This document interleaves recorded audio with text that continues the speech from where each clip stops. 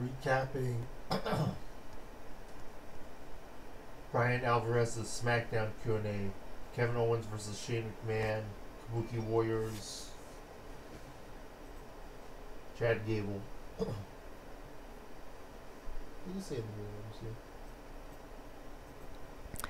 Chad Gable on the main roster. Chad Gable.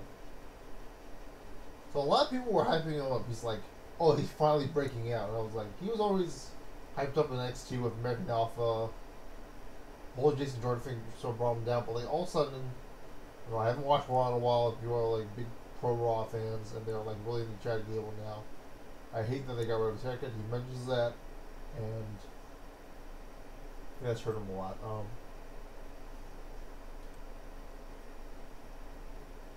there's a certain I didn't watch the SmackDown because I was at work, but WWE always treating underdogs, small guys as underdogs, even if they're not that small, or that unintimidating.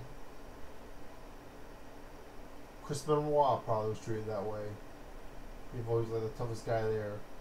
Zack Sabre Jr. in New Japan right now will not be treated this way in WWE. Kenta wasn't treated that way in WWE. Shane McMahon and Vince McMahon, they treat him like tough guys. Can't remember else. Those are my examples.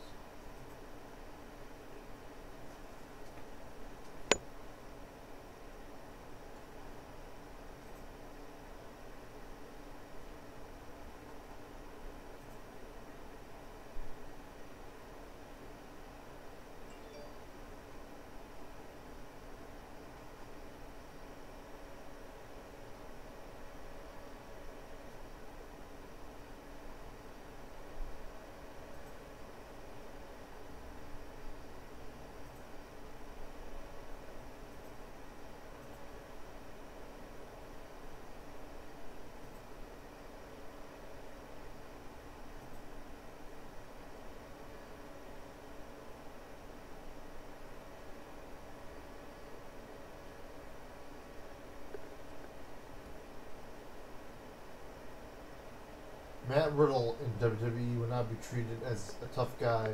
Or would be treated as an underdog.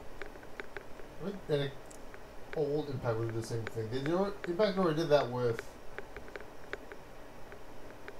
Tessa Blanchard, and I think that was a good move because like she's a tough guy like Matt Riddle and Zack Sabre Jr. And that's where Impact used them terribly.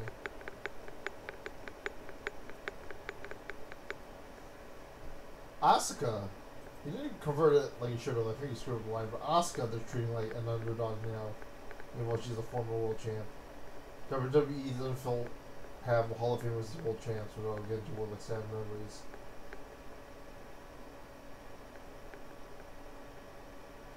So she and Kairi Sane are going after the 24/7 title. Kairi Sane has the telescope in front of her face. She can't. Oh, not how she was booked previously in WWE. They can make her. She's basically like getting Shawn Michaels or Clique or something. There's someone in the women's division, like Sasha or Charlotte, where she's not being pushed.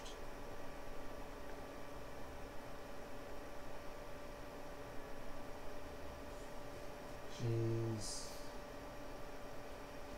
I don't know what Kairi Sane how far that pirate gimmick could have went. And the rest of the Kabuki Warriors has nothing to do with the gimmicks. It's just the name given to them. But yeah, it's a mess. Um, Asuka was a former world champ. Like you would have Dolph Ziggler like go, Brock Lesnar go for the twenty four seven title. Kairi Sane never has any mic time to develop. Asuka used to be a main eventer and now doesn't main event anymore. Probably the whole Republican thing about her not having an American accent, but we shall see. I don't know if that's affected uh, Matt Riddle. Kevin Owens or Shane McMahon. Something else you don't want to see. Kevin Owens was already fired. They brought him back for another match for no reason.